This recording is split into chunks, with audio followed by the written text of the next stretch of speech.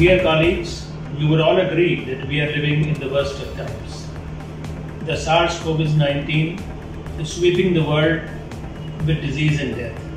And more lives have been lost in this disease than most of the wars in the last century. And the number continues to rise. Even the economy is in chatters. Everybody is suffering, even those who are staying home.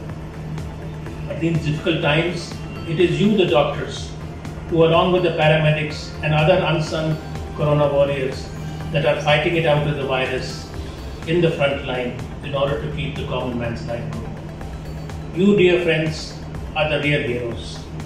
But while you fight it out, I would suggest that you should take all the precautions necessary and prevent yourself from getting the disease so that it does not spread to your friends, to your family, and to the public at large.